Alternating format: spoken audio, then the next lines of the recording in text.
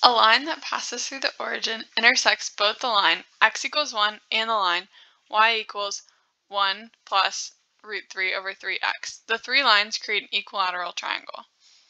What is the perimeter of the triangle? I'm just first going to draw what this looks like. So we have the line x equals 1 right here. And then we have the line y equals 1 plus root 3 over 3x.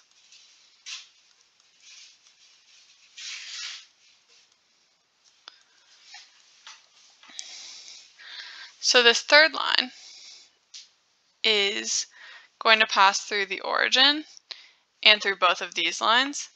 So it's going to look something like this. That's line L. And you can see this triangle here is the equilateral triangle.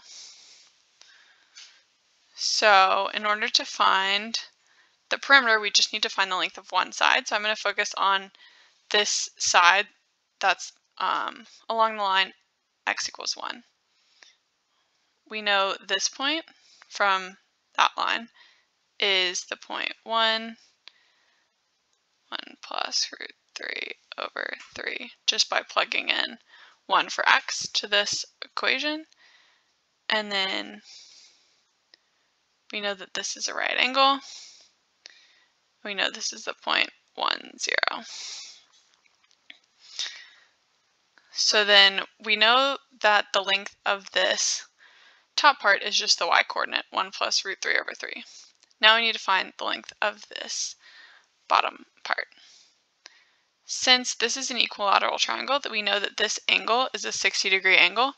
So here we have a 30, 60, 90 triangle. This side length is 1. And so then we know that this side length is going to be 1 over the square root of 3.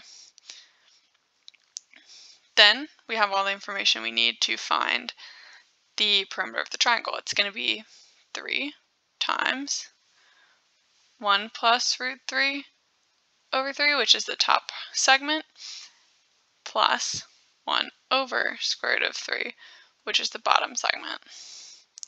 This is the perimeter. That's equal to, rationalize the denominator, this is actually also root 3 over 3. So then we have 3 times 1 plus 2 root 3 over 3. So we get 3 plus 2 times the root 3.